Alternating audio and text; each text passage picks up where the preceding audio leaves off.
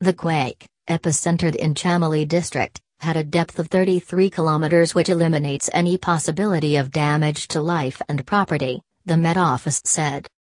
A slight intensity earthquake measuring 4.7 on the Richter scale shook parts of Uttarakhand on December 28 evening.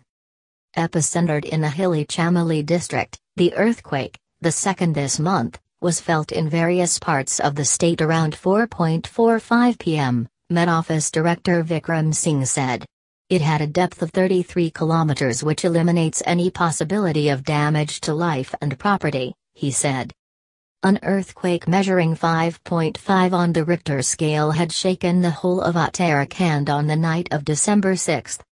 The last one had its epicenter in Rudra Prayag, another hilly district neighboring Chamoli.